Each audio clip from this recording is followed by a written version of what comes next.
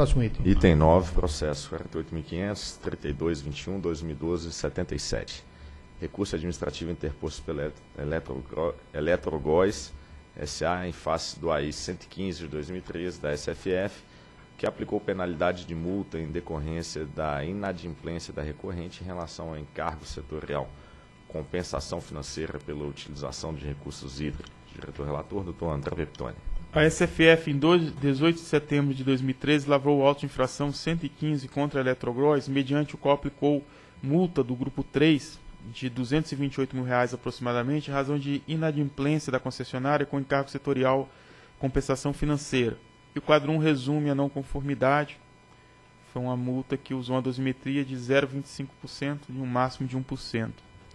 Em 4 de outubro, a Eletroglós interpôs recurso administrativo contra o auto de infração, sustentando que a, a ilegalidade da multa imputada à empresa, tendo em vista a existência de excludente de responsabilidade representada nos gravames, prejuízos já suportados pela Eletrogós, com o indeferimento de seu benefício à subrogação da CCC, constante do despacho 4.910 de 2011 e com o não restabelecimento do equilíbrio econômico-financeiro do contrato, o que deu em flagrante abuso de poder, já que em violação aos institutos do direito adquirido, do ato jurídico perfeito e do princípio do equilíbrio econômico-financeiro do contrato. Ademais, a Eletrogás requeriu a suspensão da cobrança da CEFU e da taxa de fiscalização enquanto perdurar os efeitos do despacho 4.910 de 2011, considerando que a Eletrogás contra ele interpôs cabível pedido de reconsideração que ainda se encontra pendente de julgamento e pedido de restabelecimento de equilíbrio econômico-financeiro. Isso está na peça da Eletrogás, mas eu acho que isso aqui já foi julgado, né? Já, já, o colegiado já julgou. Em 11 de outubro de 2014, a SFF, em juízo de reconsideração, manteve a decisão constante do auto de infração e remeteu os autos à diretoria. E a Procuradoria, pelo parecer 69 de 2014, recomendou o não provimento ao recurso administrativo apresentado pela concessionária ao relatório. Procuradoria. Trata-se aqui de recurso em face do auto de infração 115 de o auto de infração número 115 de 2013. A Procuradoria examinou esse recurso por meio do parecer 069 de 2014. né? Aqui, essencialmente, a Procuradoria afasta a argumentação de quanto ao enquadramento da, e caracterização da não conformidade, porque a justificativa de dificuldades financeiras eh, a- a- e, e eventuais desequilíbrio econômico financeiro não são suficientes para afastar a necessidade de pagamento da compensação financeira.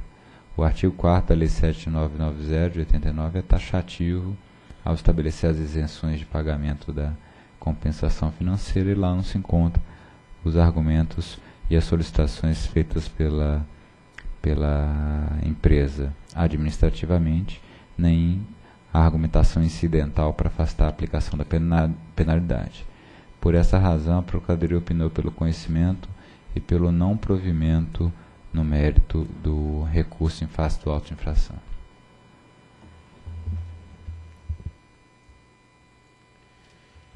Em relação ao mérito, a Eletrogás alegou apenas enfrentar dificuldades econômicas e financeiras decorrentes do despacho da ANEL de 2011, que indeferiu o pleito da concessionária de subrogasse no direito de usufruir da CCC, que posteriormente isso foi revisto pelo colegiado.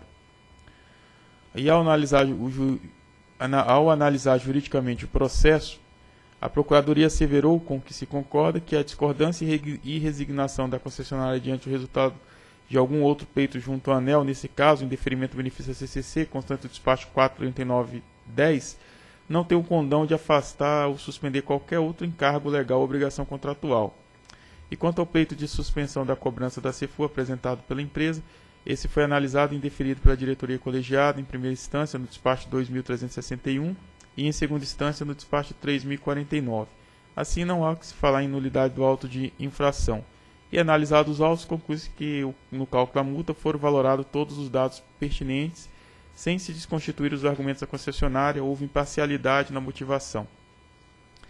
Assim, a partir de tal análise das considerações apresentadas no processo 48.500.00.3221.2002 de 77, voto por conhecer do recurso administrativo interposto pela Eletrogós, lavrado pela SFF, em razão de inadimplência na, no encargo setorial compensação financeira, e no mérito negar-lhe provimento é o voto. Em discussão? Em votação. Relator. Também voto com o relator e, de, e declaro que a diretoria decidiu conforme dispositivo lido pelo diretor relator. Próximo item. Doutor Girosa, só fazer uma, uma, informação aqui. No processo que julgamos anterior, o da, dos, dos agentes comercializadores, é só um, um ajuste, faço aqui de, de, público na sessão, é que diante daquela modificação que fizemos nas atribuições de algumas áreas no final de 2014, a atribuição de autorizar a comercializadora foi passada para SCG e não é mais SCT. Então vou até fazer é um verdade. ajuste no dispositivo do voto e colocar a determinação para SCG. Ok, ok, perfeito.